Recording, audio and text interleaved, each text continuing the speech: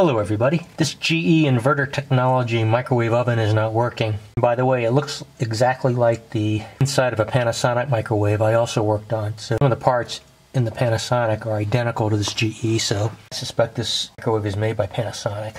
So the standard disclaimer here, there are some really, really nasty high voltages in microwave ovens. So this is not for the amateur to tackle.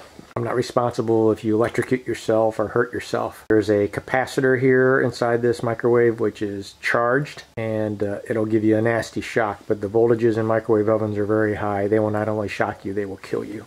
So warned. I have found the problem but let me show you what the symptoms were first and I'll show you how I was able to fix this one. There are five fasteners on the back of the microwave and then two fasteners on the side. Here's a close-up of the screw. This is a uh, T20 Torx but not a standard T20. It's tamper resistant. It has that little stud in the middle of the opening. Here's what the correct T20 tamper resistant bit looks like. It's just like a standard T20 but it has a hole in the middle of it. So there are five of those that need to be removed and then two regular Phillips head screws. So seven screws altogether. So let me demonstrate the problem for you. You clock's running. It's working fine. Open the door. The light comes on inside. Works fine. I'm going to add one minute cook time. Going to hit start. One, two, three, off. when I press the start button, fans did not turn on, or did the magnetron. Essentially nothing happened other than at the end of three seconds, control shut off. That told me that probably had a problem with the interlock switches. There are three micro switches which are activated by the door. One of them is right here. Has this white connector on it, two wires in it. And then there's another white one here and a yellow one. So the primary is right here, this white one. And then there are two more.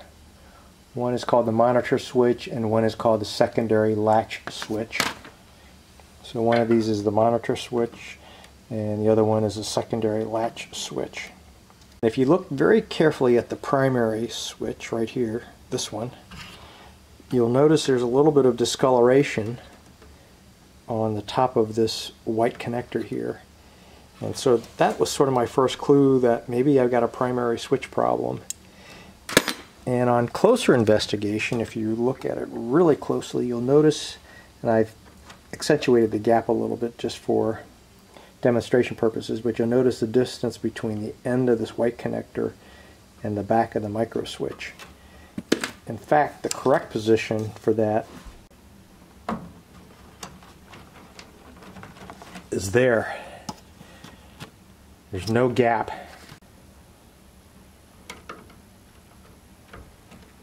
No gap. And these switches get a lot of abuse. Think about it. Uh, they're bumped a lot because you're constantly slamming the door. They get a lot of banging from the door being closed. But that needs to be, that connector needs to be pushed on all the way. The other thing I've noticed, and it may not show up on the camera, is that there's a little bit of arcing. Some black arc marks on this terminal further confirming that I, I wasn't getting good contact from that connector. So make sure your connector's pushed on all the way. That switch that was causing the unit not to run properly. Let's see if it works. put two minutes on the microwave. Let's start it. The fans turn on, the turntable turns, the magnetron's running. Got a cup of water in there. Have a glass of water. Let's see if it's warm.